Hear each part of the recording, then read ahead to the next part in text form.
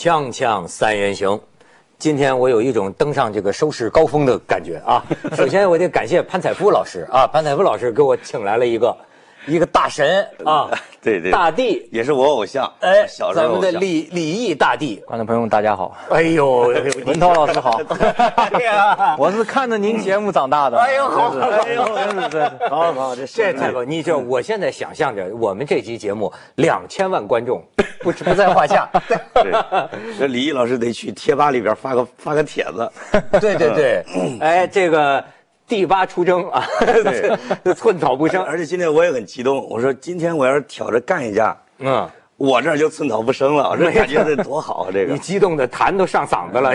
我听说李毅老师来，昨晚上没睡着，就上火了天亮了，对，等天亮了。哎，这个采夫兄，你为什么就想到聊这个话题？你想到应该找李毅大帝来，因为我觉得中国最懂球的就是李毅了，还是从专业角度来说的啊。是把其他人都骂了吗？哎，这个我觉得那个潘老师有点这个抬高我了。其实中国懂球的人有很多，只不过说我现在正好空闲。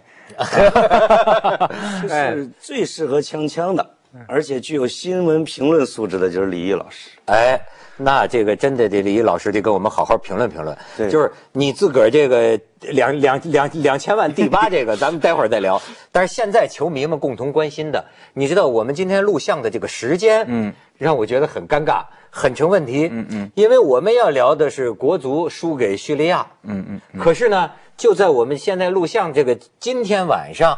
是国足对这个乌兹别克斯坦，乌兹别克斯坦客场嗯，哎，你知道我就有点鸡贼了。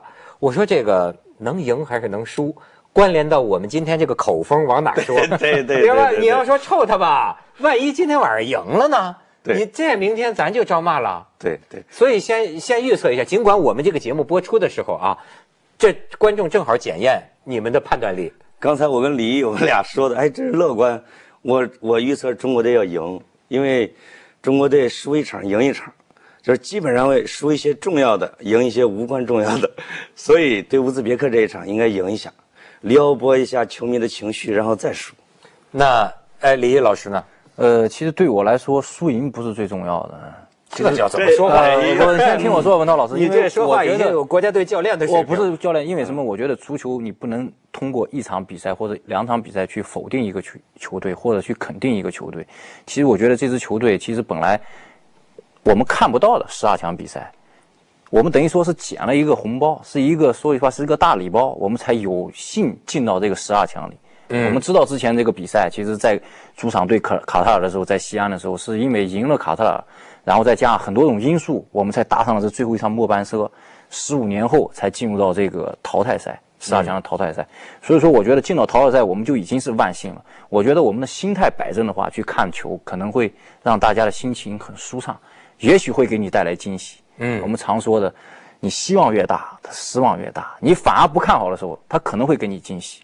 哎，您这个话达到这个老老祖宗圣人的水平，就是四个字嘛，知足常乐。对对对，能看上十二强就不错了。对我们已经十五年没看了，而且我觉得确实，呃，其实这么多年来，其实我们要感觉，如果我们每一届都在十二强，那我问你一个问题，咱们好不容易能看上这个十二强，是因为咱们达到了十二强的水平了吗？我觉得其实是在这左右，就是运气好或者发挥的好，就是我说现在啊，现在国家队的水平，运气好发挥的好，可能进入到十二强，就包括分组。如果运气不好，或者分组不好，或者状态不好，有可能会排除在十二强以外。我觉得以中国队的实力呢，是应该勉强能进入十二强的。就但是因为这几年一直在走衰，就自我的认同和自我定位都低于十二强，所以就我觉得他这个实力就打了八折，表现不出来。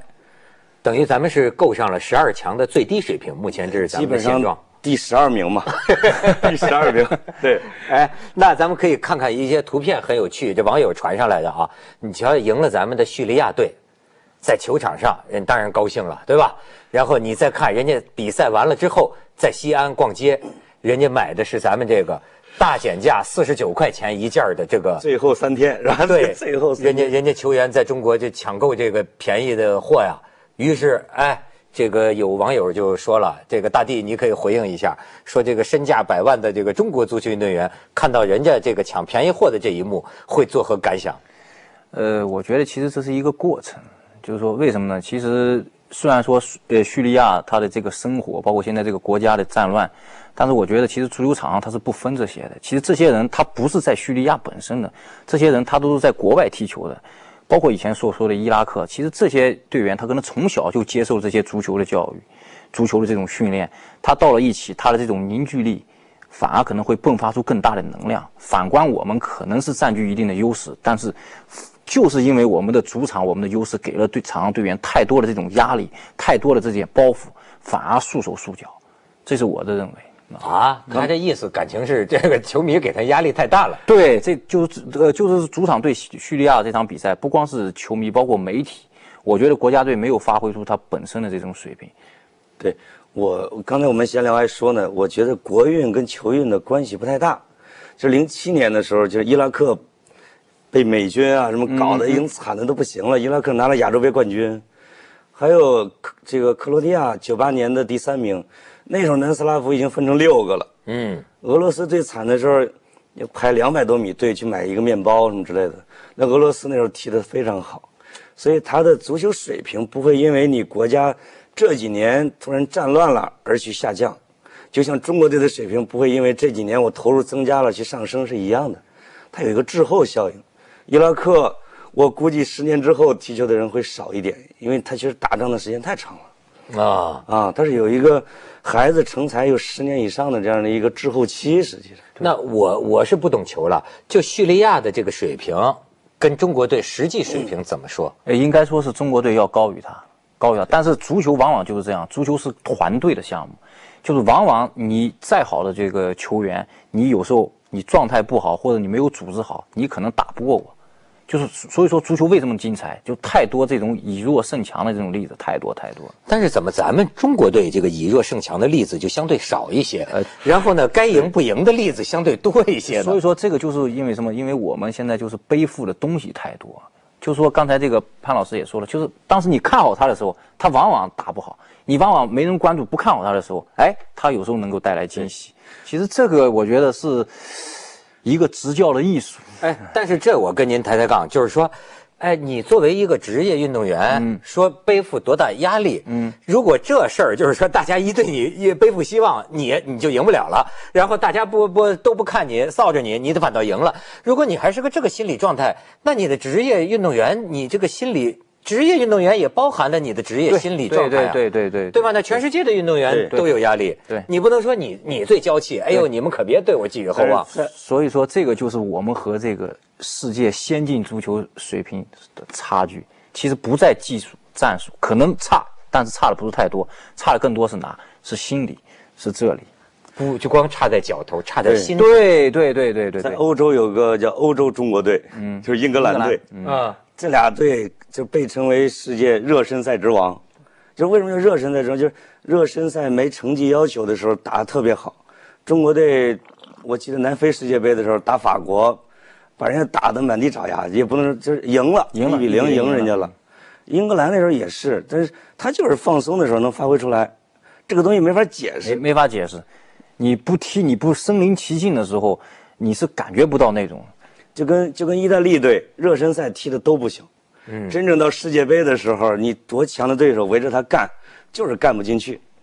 他就是一股民族性格，也有啊，他有这种历史传统。嗯，哎，我真是很难身临其境，但是我非常好奇，就是说，你看他足球，他还是他不是一个人，对对对吧？你说的这种心理状态来了的时候，是不是你会产生一种幻觉？你觉得？整个队员状态都在一个状态上，这个是什么？其实这个就是说，为什么说是十一个人呢？他会相互传染的，会影响的。比如说这场比赛，我们十一对十一，其实这场比赛，比如说刚开始，我们队有两个队员或三个队员，他状态不好，对，或者就是说他会影响到其他的人，那可能整个队他就会往下走。如果这场比赛有两三个队员在开始的时候，他状态特别好，比如说守门员扑出了几个必进的日球，他会提升这个球队的士气，那这个球队可能就越打越好。那可能就是说，就是说本来他是百分之百的战斗力，他可能会产生百分之一百二的战斗力，会把强队给干了。所以说，这我们常说的就是以弱胜强，就是这样。但是有的时候你要看在球迷的眼里啊，有时候也有一些奇观，我也不明白。呃，就是因为我也不懂球，就是人可能不可能啊？你看有些呃国足的比赛，我觉得从心理状态上讲，他是应该非常紧张的，嗯，压力非常大的，嗯。可是为什么在球迷眼里，部分球员会出现闲逛的行为？嗯，就是一个人有可能心里特别紧张，嗯，但是看上去他好像在那儿溜边闲逛，嗯，这个矛盾吗？这个他不不矛盾，他有可能是心里特紧张，但看上去倒像是在散步。呃，这个呢，因为足球场它不可能永远是在这种高速的奔跑当中，它是有一种，比如说它有休息的时候，有全速，有冲刺。其实还有一个最重要的时候，他可能也是在自我的调节。好的运动员，其实最优秀的运动员，顶级的运动员，他就是在这种重压之下，他能把这种压力变为动力。但是呢，稍微差一点的，或者他可能会把这个压力背负的。其实我就说一个欧洲杯这场欧洲杯，葡萄牙，嗯，在前两轮的比赛。C 罗被骂的这个满地找牙，对，最后客场呃第三场比赛他们是三比三比三平了那个瑞典，呃不是平了那个叫呃匈牙利，匈牙利。平匈牙利，匈牙利三比一领先。对，C 罗那场比赛一个人进俩，传了一个，就那场比赛他一下就把这个葡萄牙带进了这个所谓的这个淘汰赛。对，这个就是一个球星的作用，他是顶住了这个压力，他把它变为动力，去改变了整个球队。一个人能带动一个队，哎，就是所以，那你说中国队现在有这样的人吗？现在 C 罗全世界也找不到，也就这，就是就是球队有一个很特殊的地方，就是它像一个猴的部落一样，它是需要有王的。对，需要有王。它确实，它跟这个民主社会不一样，它是需要有一个有一点专制气质、有大哥领袖范儿的范志毅那种王，他把你他妈跑啊！你不跑，我他妈踢你。呃，这个劲儿能够给揪起来，就你会发现，阿根廷队为什么战绩不好？其实梅西的实力真的特别好，但我觉得梅西就不会去骂人，他缺少呃，真的马拉多纳那样的霸气。对，这个其实，在足球场上，呃，其实最重要的就是说有一个领袖，领袖什么？领袖他不是说光不是说光技术踢得好，其实更多的是在场的精神，他是就是这种王者之气。其实我觉得这么多年来，我心中当中最具有王者之气的就是当时曼联的那个基恩。知道吗？他的球技其实很一般，经常踢人什么，但他在场上，这个曼联啊，就像一个永不服输的斗士，他总是能在九十分钟加的时候，他最后能够把球给扳回来，就是因为他永远不服输。一场如果有两三个这种人，他永远在不服输，在挑逗你，在跟你斗，在跟你干，那你这个球队他绝对不会差的，知道吗？哎，那你中国队历史上，你觉得呃有谁有种这种王者的感觉的？曾经或者说曾经有过吗？你不好意思说自己是吧？呃，其实真的就是说，我当时那时候其实也说过，就是说，这个球场上其实需要球霸，那但这个球霸呢，只是限于球场上，在场上，对对，不是在场下，在场上需要球，因为什么？因为有时候你想在场上几万人观众在喊的时候，你教练这种传达，队员听不到的。对你场上必须要有队员，他能够及时的领悟到你主教练的意图。他在场上其实他就等于是一个主教练，等于就是说这时候我在带着你们在打仗，知道吗？那更多的时候是靠他来够领导这个。哎，我再给你提一个外行的问题，就是说，你看我平常看球，我也觉得足球场那么大。有的时候你感觉执行这个教练的意图啊，他好像就在场边喊，你也听不见。听不见。有时候换人，他在耳边，你听他叮嘱几句，啪一拍屁股上去吧。嗯。他是怎么这个意志是怎么传达给所有的人？改变战略了，或者是呃，其实，在场上就是说，从主教练和队员之间最简单的沟通，其实是一个手势，知道吗？是一个手势。还有一个就是这个主教练呢，他是一种人格的魅力，知道吗？很多东西其实你在场上你喊再多，就像我们就是作为主教练来说，你。比赛之前，你跟队员说再多，你没用的，他听不进去的。其实比赛之前少说，就说哎，大家哎，OK，让大家能够自己集中精力。说再多他听不进去，你给他开一个小时、两个小时会，他都睡着了。你说他他听得进去？你这时候就要简单明了，把技战术一布置，角球定位球一说，其他的东西 OK。场上更重要的，主教练是在场上的临场辩证，就是对手这时候我们领先了，我们落后了，我们少人了，我们多人了，或者。这个战术的变化，其实是一个主教练的，所以所以有一些好的教练呢，他实际上是一个表演家。哎，你比如像福格森呐，像穆里尼奥啊，瓜迪奥拉，对，动作很夸张，这样就这样，然后逮住那个第四教练恨不得要打。他其实演给球员看的，对，球员用眼角看到我的教练疯了，嗯，我他妈得干。对 就是有一些教练就拿着本儿那一坐的时候，他的球员有点面，比如说我们阿森纳的教练 温格，那就德国很儒雅啊。德国队肯定一看见这教练都开始闻鼻屎了，赶快掏裤裆了都掏裤裆了，没错。他这么有这闲心呐。对，锵锵三人行广告之后见。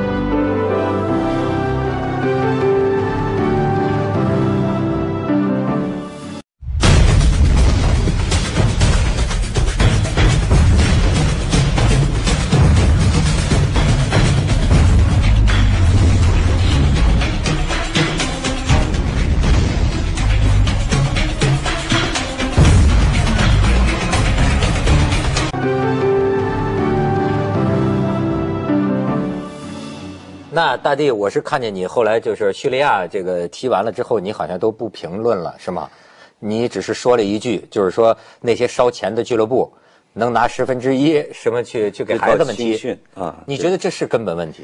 这个是绝对的根本问题。其实现在的国家队是八九年的，以八九年为主的这一批，这一批当时就是我们还在踢的时候，其实当时他们这一批的人就已经很少了。你现在不是说高指导啊，你换任何的主教练来，他他就这些人，他就这些菜，你能让他炒出花来吗？你不可能的。我们现在双剑没有这个基础，最简单的，现在就是国家的这些人，你现在抢各个俱乐部在打打破都在抢，本来是一百块钱的，现在得卖到一千块钱、五千块钱，为什么？物以稀为贵，没有这些人。如果你有更多的人，比如说我有一百个这样的球员，或者一千个这样国家级的球员供主教练去选择，那主教练来说他幸福死了。啊，他现在就这十二十来个人，他挑来挑去，他就这些人，你说他怎么办？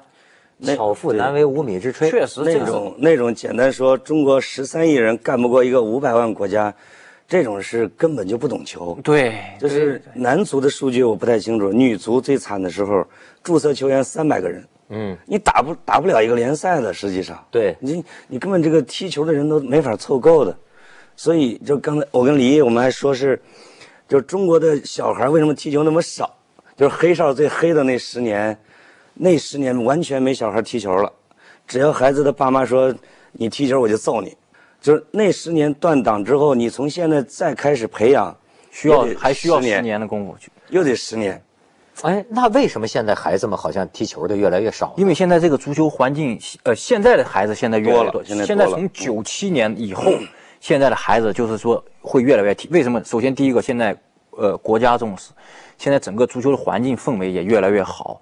对，包括现在足球运动员的收入，这个行业也是哎，大家都说哎你要踢球，现在这对这你让很多人他觉得这是一个好的项目，所有人他都愿意去踢，就像现在很多真人秀一样，现在这些出个节目，为什么这么多孩子愿意去？快呀、对，来钱快来。不来出名快啊，我一下就快了。但足球这个是慢活，它是要靠你常年积累。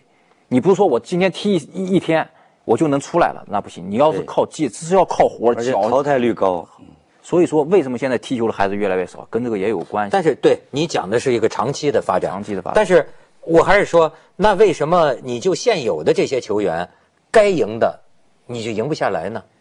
就你的归咎于原因就是说心理状态，但是你说这个心理状态难道不是你水平的技战术水平的一部分吗？呃，这个是我们在从小的，就是说在训练的时候，其实就我刚才说到青训，这个要回到原来地方说到青训，就说青训的时候，现在我们国家也在重视青训，很多人也在搞，但是我说的是青训基础建设。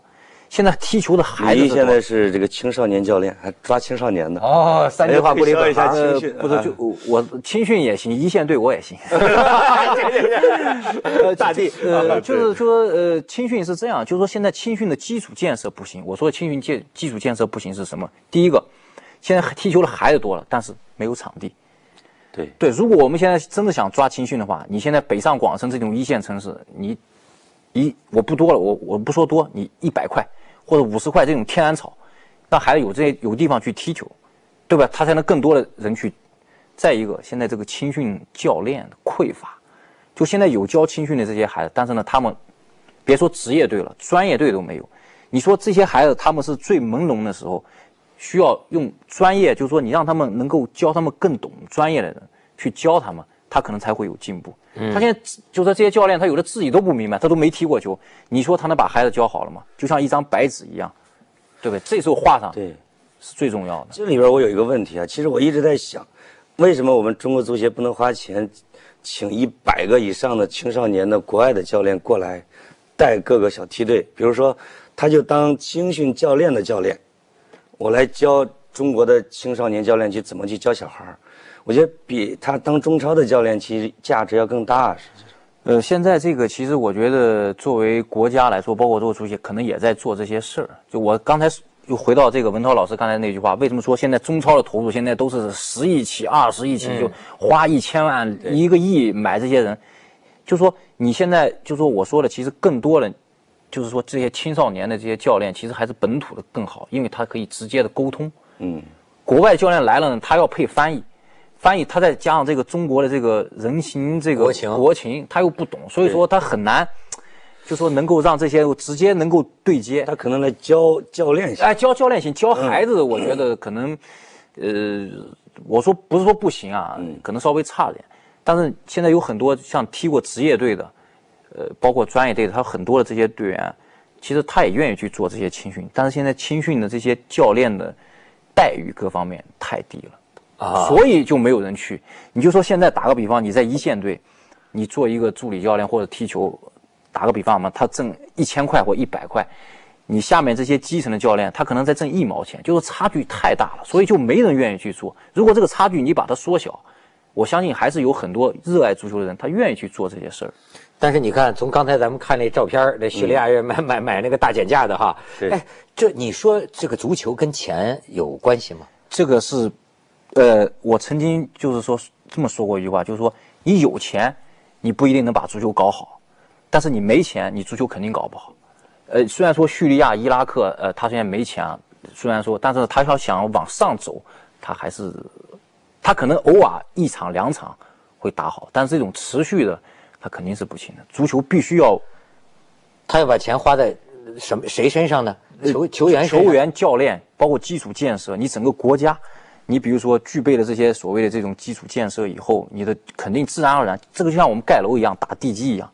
我想盖个一百层的楼，我的地基要打多深？我只打到了三十层的地基，我盖了五十层以后，就是泡沫，就是票，再高可能就倒了。举个例子，就是非洲的，就是非洲在 一二十年前的时候，其实被预测啊，就是足球的沃土，就是以后的世界冠军啊，对，世界杯冠军都在非洲。嗯，因为他身体素质太好了。但这些年过去了，你会发现他们成绩又下去了，就实际上那战乱、贫穷。腐败、黑球、黑球。那个巴西世界杯的时候，那些球员就等着足协，你给我钱，我就上飞机。对 对，不给我钱，我就不踢。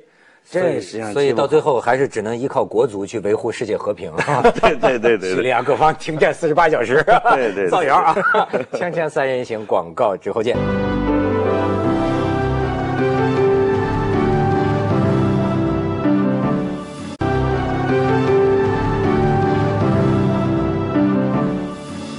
那李大帝，你曾经说过，就说这国足得有点西北狼的这个精神。嗯，你觉得这精神管多大用？